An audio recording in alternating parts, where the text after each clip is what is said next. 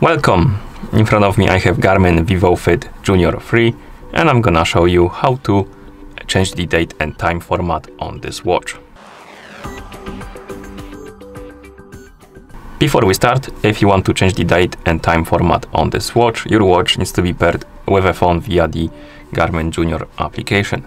Once the devices are paired together, we can continue.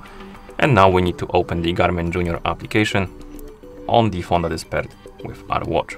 So let's open the app. In the app, uh, select the profile your watch is connected to. No, my bad. Let's go back and tap on the profile like this. Once you select the profile, tap on the settings icon and here scroll down and find the time format and date format. First, let's tap on the time format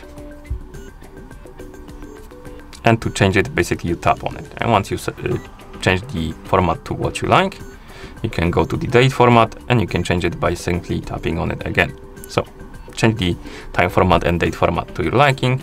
And once you're done tap on the check mark right here to save the settings.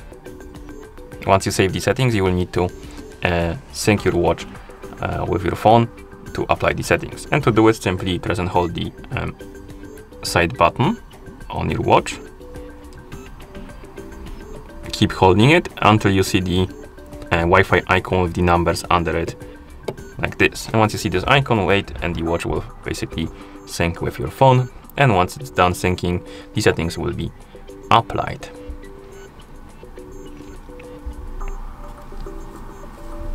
Like this. And that's how you change the date and time format on this watch. Thank you for watching. If you found this video helpful, please consider subscribing to our channel and leaving a like on the video.